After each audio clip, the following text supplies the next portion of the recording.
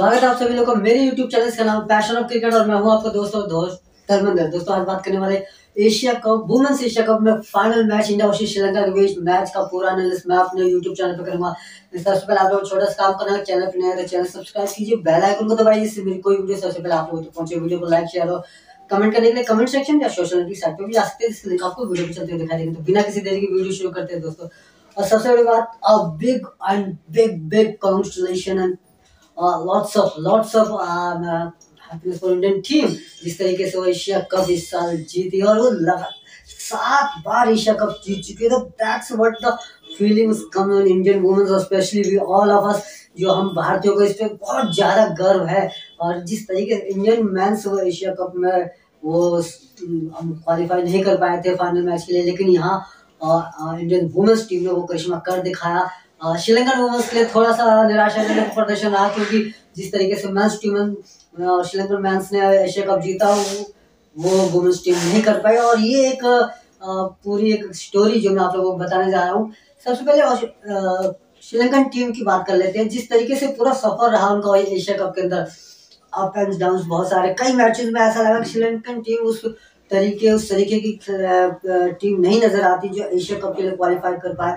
Pakistan team काफ़ी इसके मद्देनजर काफ़ी स्ट्रॉन्ग नज़र आती है, लेकिन उसके बावजूद और श्रीलंकन टीम ने एक बहुत ज़्यादा नेल बैटिंग मैच में पाकिस्तान को एक रन से हराया था सेमीफाइनल मैच था, उसके बाद एशिया कप फाइनल में पहुँचे। और ऐसा लगा कि टक्कर दे सकती है, क्योंकि जब आप फाइनल मैच में प्रवेश करते हो, उसके बाद से ना बॉडी लैंग्वेज एटीट्यूड वो परफॉर्मेंस सब चेंज हो जाता है, और उसी की वजह से आपको एक अलग सी फीलिंग आती है कि आप फाइनल में खेलने वाले फिनाले का हिस्सा हो। और वहाँ से ना एक अलग सी एनर्जी बिल्डअप होती है और वो निकलती है बाहर आती है। हर एक खिलाड़ी जो कि अगर उसने पहले एक बार भी अच्छा परफॉर्मेंस ना किया हो फाइनल मैच में उसका कंट्रीब्यूशन या होता है। आपको ध्यान होगा 2007 वर्ल्ड कप फाइनल जिसमें जोगिंदर सिंह ने लास्ट के ओवर में एक विकेट निकाल कर जो उन्होंने उस ओवर में दो से तीन वाइडें दी थी, लेकिन उसके बावजूद जो गेंद डाली थी जिसपे मिसबाह का विकेट निकाला था, वहाँ से स्टार बन गए थे। तो कहने का मतलब ये है कि हर एक खिलाड़ी फिनाले में अपना कंट्रीब्यूशन देना चाहता है और वो जो जो एनर्जी आती है ना, उस, उसकी उसकी व्याख्या नहीं की जा सकती, उसको उसको डिस्क्राइब नहीं किया जा सकता। और कुछ इसी तरह की परफॉर्मेंस की उम्मीद श्रीलंकन टीम से थी कि जिस तरीके की वो टीम अपने स्पेशली श्रीलंकन कंट्री का जो समय का पूरा हाल चल रहा है, उसकी वजह से ये जो स्पोर्ट्स एक ऐसा इवेंट है जो कहीं ना कहीं देश की, के अंदर आयु अस्थिरता को स्थिर कर सकता है और उसी के लिए मेंस टीम ने बहुत शानदार परफॉर्मेंस दी थी, एशिया कप का फाइनल जीता और उसके बाद से जो एक वार्म वेलकम श्रीलंका का अंदर उनका हुआ, उसी तरीके में श्रीलंकन वुमेन्स टीम से थी, लेकिन यहाँ श्रीलंकन वुमेन्स टीम ने पूरे श्रीलंका देशवासियों को निराश किया। अब मैच की बात करते हैं, जैसे कि श्रीलंका टीम ने टॉस जीता, पहले बल्लेबाजी करने का फैसला किया। और फैसले से मैं ये कहूँगा कि आई थिंक सही या गलत टॉस मायने नहीं रखता। फाइनल में खेल रहे हो तो big big opportunity for you आपको ये अगर बहुत ज़्यादा पिच में अप एंड डाउन से बहुत ज़्यादा पिच और मिसबिहेव कर रही है तो वहाँ एक अच्छा निर्णय लेने की ज़रूरत है। लेकिन अगर आप अच्छा खेलो ही ना तो उस स्टेज पे आप पिच को या मौसम को ब्लेम नहीं कर सकते। और कुछ ऐसा ही हुआ, श्रीलंकन टीम ने परफॉर्मेंस नहीं की। मुझे बहुत ज़्यादा दुख हुआ कि जिस तरीके से उन्होंने पूरी टीम ने परफॉर्मेंस रन, नौ विकेट बीस over I think Sri Lankan team का जो परफॉर्मेंस मैं इसके लिए ना, आज के मैच का एनालिस करने के लिए स्पेशल श्रीलंकन टीम का पॉइंट ऑफ़ व्यू रखने के लिए मेरे पास शब्दों की कमी कुछ ऐसा लग रहा पड़ रही है कि जिस तरीके का एशिया कप में पहुँचे और फाइनल पहुँचे। कुछ अलग हटके होना चाहिए था। गेंदबाजी हम रणा सिंह और अट्टा पट्टू गेंदबाजी, रंगवीरा, इस तरीके गेंदबाज माधवी डिसिल्वा ये जो एक अच्छा मिक्सचर है गेंदबाजी का काफ़ी बल्लेबाजी में अट्टा पट्टू माधवी आपका डिसिल्वा आपका संजीवनी परेरा, ये सब ऐसे खिलाड़ी हैं कि जो अभी तक इनका परफॉर्मेंस अगर देखो, मैं तो तीस रन, पच्चीस रन, पैंतीस रन, ये स्कोर करते हैं रन ऑफ़ बॉल के साथ करते हैं, और वो काफ़ी अगर एक सौ पैंतीस, चालीस, पचास तक का टारगेट दिया होता तो डेफिनेटली बहुत ही इंटरेस्टिंग मैच होता। लेकिन, ये बात रही श्रीलंकन टीम की, पर क्या वाकई में उन्होंने खराब खेला या इंडियन टीम ने जस्ट फोर्स जिस तरीके का उनको ऊपर प्रेशर डाला, उससे वो चूर चूर हो गए दोस्तों हाँ बात इंडियन टीम की और रेणुका सिंह की, जिस तरीके गेंदबाजी। और मैंने आपको हमेशा बताया, रेणुका सिंह एक ऐसी गेंदबाज है doesn't matter no matter opposition कौन है, किस तरीके का प्लेयर उसके अंदर खेल रहा है just need to be wicket first wicket in first over और आफ्टर दैट रेणुका सिंह को रोक पाना असंभव है।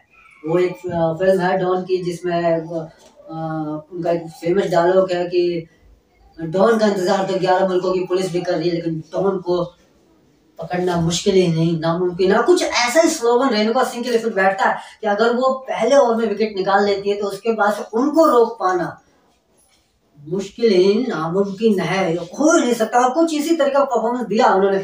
तीन ओवर एक, मैडम, पाँच रन तीन बहुमूल्य विकेट कमर तोड़ के रख दी बिल्कुल श्रीलंकन टीम की स्टार्टिंग से। और दीप्ति शर्मा ने जो ओवर किया, अब पूरे मैच का अगर मैं कहूँ, पूरी सीरीज़ में दीप्ति शर्मा ने वो रोल निभाया जिसकी बाकी गेंदबाज उनके इस परफॉर्मेंस के आगे पीछे छिपते चले गए। लेकिन फिनाले में जो राशि गायकवाड़ पूरी श्रृंखला में इनकी गेंदबाजी का वो परफॉर्मेंस नज़र नहीं आया, लेकिन बड़ा खिलाड़ी बड़ा खिलाड़ी और जो हमेशा अच्छा करता है वो एक बड़े मैच में ज़रूर परफॉर्म करता है। और ये डेफिनेटली क्योंकि ना, वो जो जो खिलाड़ी का अपने अंदर के इनबिल्ट को जो बाहर निकालता है ना, जब वो भड़ास बाहर निकालता है तो कुछ इस तरीके का होता है कि उनहत्तर रन पर नौ विकेट और बीस ओवर के अंदर। हाँ। अट्टा पट्टू और संजीवनी ने शुरुआत की और देखिए, ऋचा घोष दो दो रन आउटों में शामिल है। शुरुआती दो विकेट अट्टापट्टू की रनआउट बाद रेणुका सिंह और ऋचा सिंह और रिचा घोष और उसके बाद संजीवनी का पूजा वत्सा का ऋचा घोष। तो ये जो तालमेल है, स्पेशली जो बॉलिंग डिपार्टमेंट और द कीपर के बीच जो पहली विकेट अट्टापट्टू की गिरी थी रनआउट का। आई थिंक रिचा घोष इस समय भाटिया जो एक इंडियन टीम की कीपर है, काफ़ी अच्छी है, लेकिन इस समय तवज्जो रिचा घोष को दी जा रही है, क्योंकि एक बैटिंग प्रोस्पेक्ट उनकी तरफ़ से निकल कर आ रहा है, बढ़िया निकल कर आ रहा है, जिस तरीके से वो अपना बैटिंग इम्प्रूव कर रही है, अगर सिचुएशन इस तरीके की होती है कि ना अब हमें हिटिंग की ज़रूरत है। पिछले कई मैचेस में हमने देखा कि उनको प्रमोट किया गया ऊपर और उसका पूरी तरीके से उन्होंने फ़ायदा उठाया अपोजिशन के ऊपर हार्ड हिटिंग किया और वही एक कॉन्फिडेंस जिसे कहते हैं कि वो जब आपके अंदर बिल्डअप होता है तो हर चीज़ आपकी तरफ़ से जो की जाती है वो बेहतर होती है, अच्छी होती है। और रन आउट शुरुआती दो wicket run out Sri Lankan team वहाँ मतलब बिल्कुल बैकवर्ड पर चलेगी। दो विकेट, वो भी संजीवनी और अट्टापट्टू जो एक भारत खिलाड़ी है अट्टापट्टू बारे में हम सभी जानते हैं, बिग बैश लीग खेलती है। कई डोमेस्टिक क्रिकेट में और उनका खुद का एक वर्ल्ड क्लास ऑलराउंडर ओपनिंग बल्लेबाज है, इसमें कोई शक नहीं है। अट्टापट्टू लंबे समय से श्रीलंकन टीम के कैप्टन और श्रीलंकन टीम की रीढ़ की हड्डी कह सकता हूँ मैं, वो है, लेकिन इस मैच में वो परफॉर्म नहीं कर पाए। और इसका पूरा श्रेय मैं दूँगा रिचा बोस को।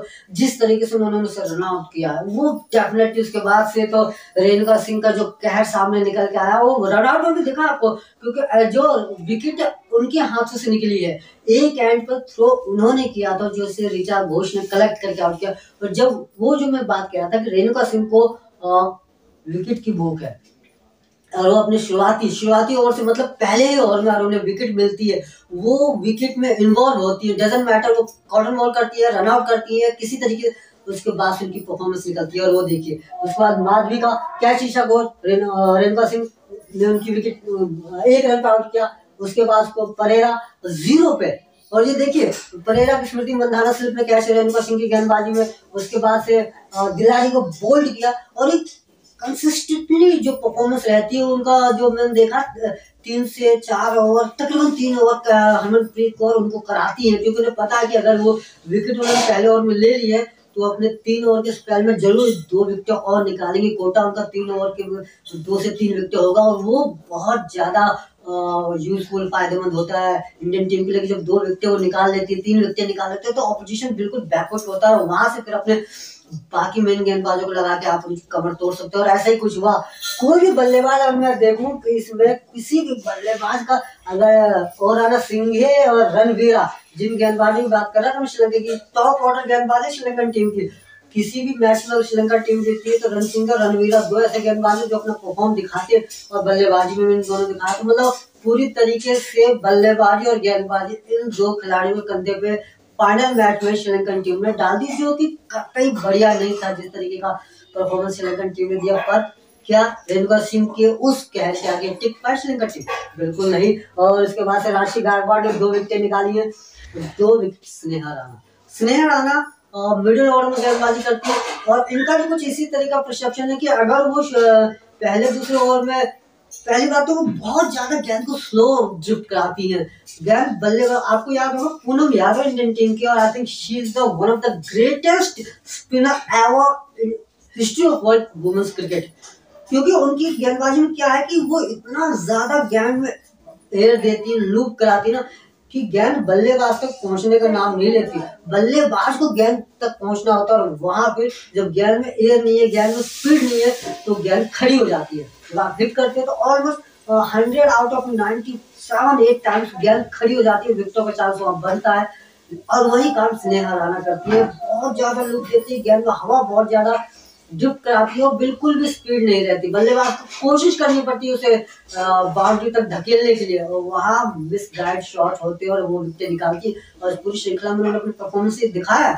इसमें भी दो विकेट थे। जिस तरीके की भारतीय टीम की गेंदबाजी रही। और और मैं एक बार सभी गेंदबाजों के ऊपर, क्योंकि बीस ओवर का खेल हुआ था, सिर्फ़ दीप्ति शर्मा या रेणुका सिंह या आपका राष्ट्रीय गायकवाड़, सेना रहा राणा ने ही गेंदबाजी नहीं की है। दीप्ति शर्मा, जो पूरे एशिया कप की अगर बॉलिंग डिपार्टमेंट इंडियन टीम की अगर बॉलिंग डिपार्टमेंट की बात करूँ तो दीप्ति शर्मा ही एक ऐसी गेंदबाज जो अब तक बॉलिंग डिपार्टमेंट से इंडियन टीम को यहाँ तक कवर अप कर रही थी। लेकिन फाइनल में चार ओवर सात रन।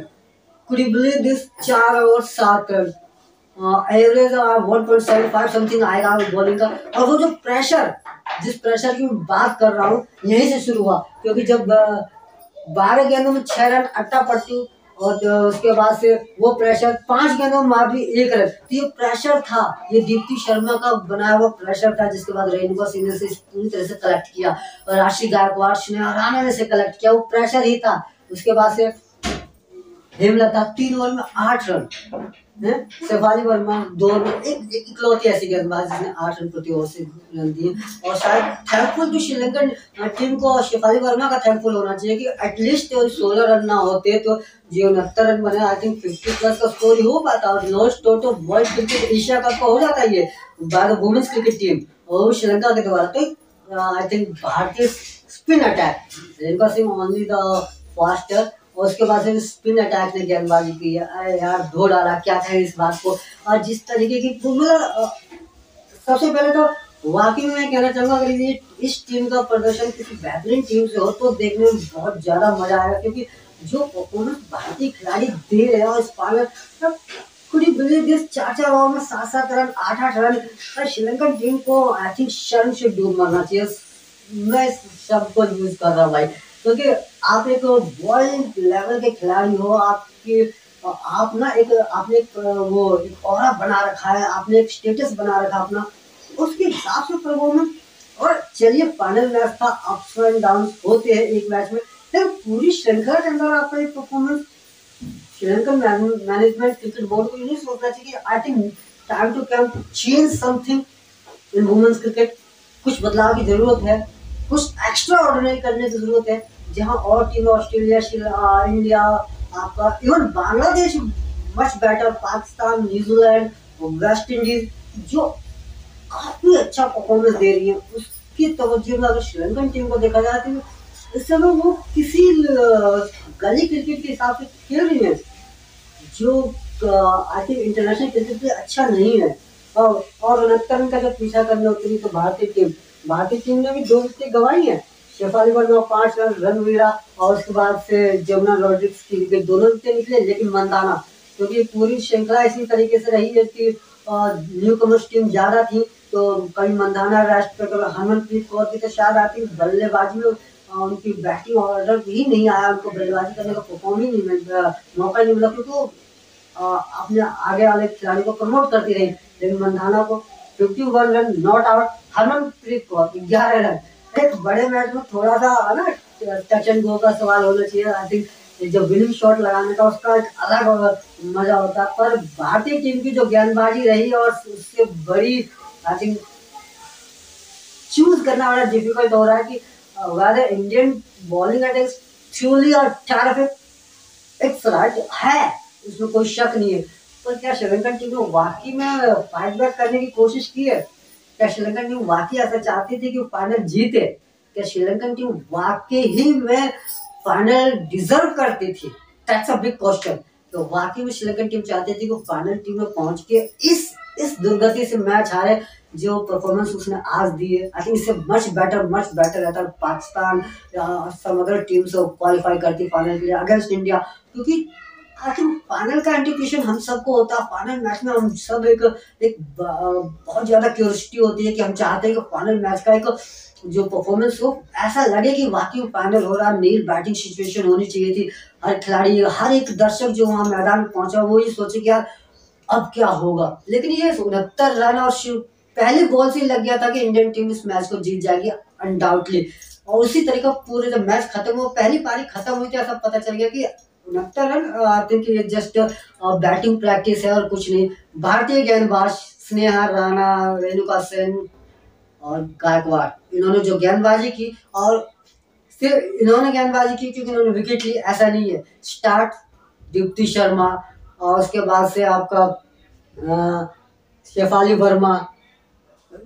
मैं किस किस गेंदबाज के बारे में आपको बताऊँ? जिस तरीके से हेमलता तीन ओवर में आठ रन तो ये भारतीय गेंदबाजी जो रही, उसके हिसाब से श्रीलंका ऑपोजिशन उतना अच्छा नहीं था। मैं ये कहूँगा ऑपोजिशन भारतीय गेंदबाजों के हिसाब से नहीं था और कहीं ना कहीं भारतीय गेंदबाजों को उतना मज़ा भी नहीं आया होगा। क्योंकि जब, अब मज़ा जब आता है ना, सामने वाला जब थोड़ा सा लड़ने की कोशिश करे, तभी तो आप अपने दाव पेच दिखा पाओगे, आपने सीधी गेंद डाली और वो विकेट देके जा रहा है। तो गेंदबाजी का क्या मज़ा आ रहा है? लेकिन फिर भी फाइनल मैच था एशिया का फाइनल था इंडिया जीती उसे, वो ज़्यादा मायने रखता है। सात बार Asia cup winner Indian team तो इंडियन टीम का हिस्ट्री वुमेन्स क्रिकेट टीम की हिस्ट्री ये बताती है कि कितना दबदबा वुमेन्स टीम एशिया कप में रखती है। Seven times winner that's a big big factor and big I think big news for Indian team तो दोस्तों, मेरे द्वारा किया गया विश्लेषण आप लोगों को कैसा लगा, ज़रूर कमेंट करके बताएगा कमेंट करने के लिए कमेंट सेक्शन या सोशल नोटिस साइट पर भी जा सकते हैं, जिसका लिंक आपको वीडियो में चलते हुए दिखा देंगे। खुश रहिए, सुरक्षित रहिए अपने और अपने परिवार का ध्यान रखिए। Thank you thank you so much